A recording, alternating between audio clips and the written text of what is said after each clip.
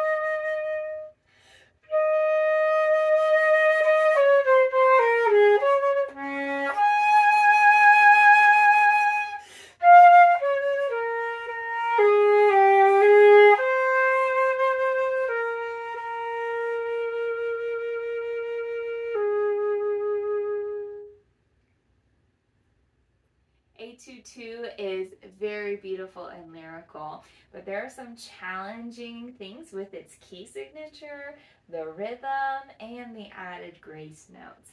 So I'm going to break that down for you. The best way you can learn this is to take out all those ornaments, grace notes, and trills and count the rhythm with the metronome and play just the outline, the basic rhythm that you see here in two measure chunks. So we will do just that. I'm going to start at the beginning and go to the downbeat of beat three in measure 18. And our practice tempo is at 45. 46. So counting sounds like this. One and a two, E and a three, lolly, four, lolly, one, four, and one, and three. Big chunk there. I'm going to now play it again without the grace notes.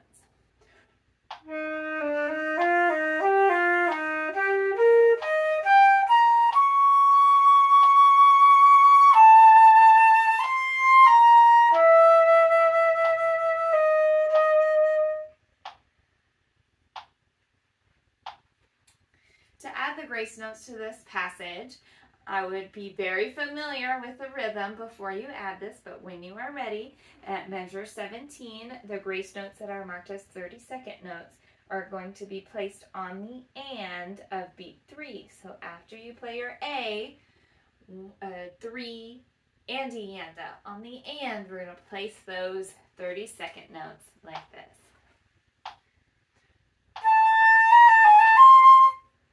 Again, just like this.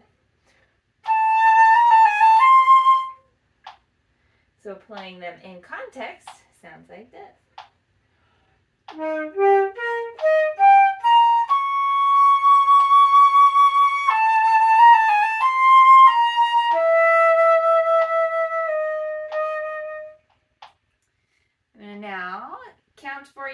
Measure 18, starting on beat 3, and go to the downbeat of measure 21. Mm-hmm.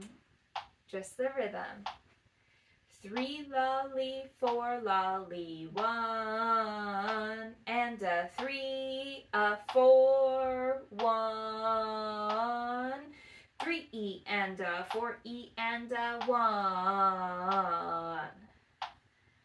Okay, without the grace notes, it sounds like this. And now with the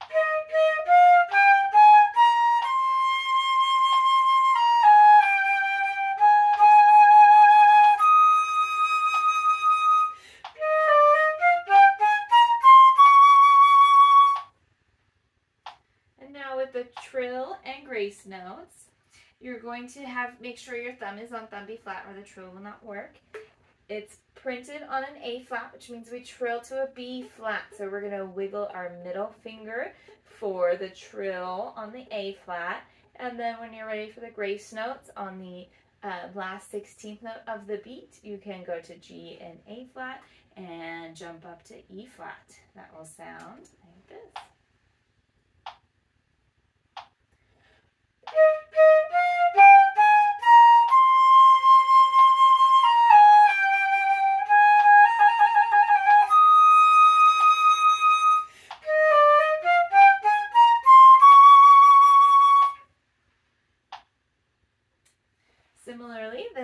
Measure, we're going to trill the A to B flat.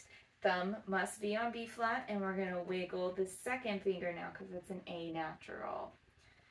Measure 21 and 22 sound like this.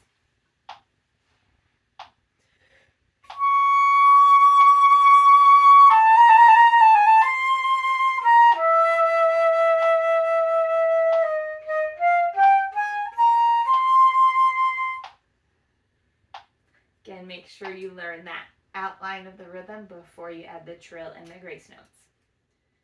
In measure 23, we have a trill on an F. That's a simple one. We're going to wiggle that first finger, F to G, and then our grace notes go E, F to G. Here's 23 and 24.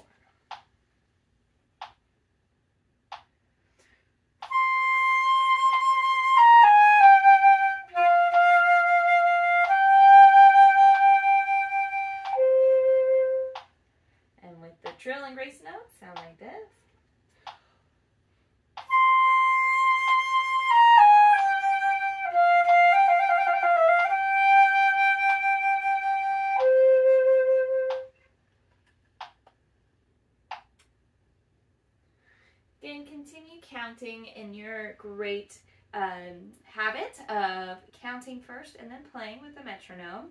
I'm going to now play for you without the grace notes 25, 26, 27, and 28. This long chunk here. No grace notes, no trills, the skeleton outline. You can count along.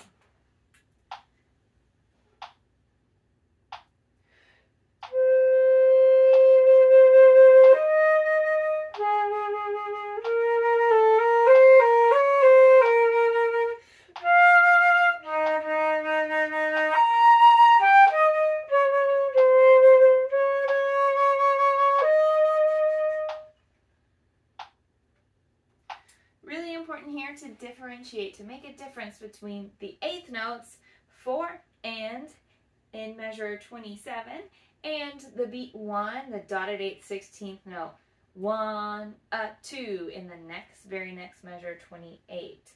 Uh, it switches a lot between these two rhythms, so we want to make sure we're clear as well as when it goes into triplets.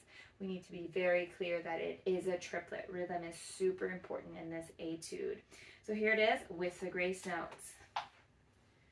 Again, this, the 30 second notes are going to fit on the and of beat 2 and measure 25 and the and of 1 in measure 27. So 25 alone will sound like this.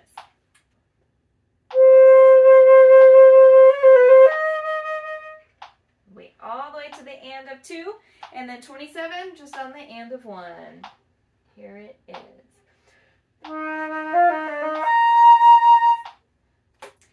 Now here it is with the grace notes all together, measure 25 through 28.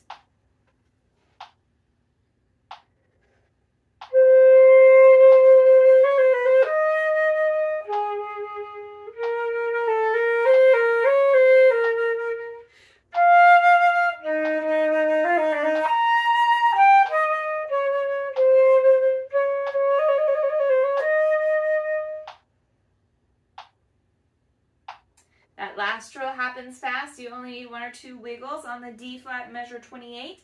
And that D flat is going to be played the trill with just your pinky and then trill your second trill key to get you to E flat.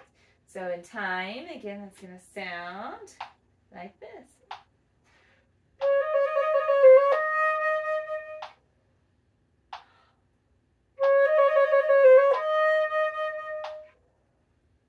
Takes a little practice to control that third finger trill, so spend some time practicing just your trills. Then we're going home free as far as uh, grace notes go, and so I'll play 29 to the end. The fermata you can hold at your liberty. I would hold it at least three beats if you can.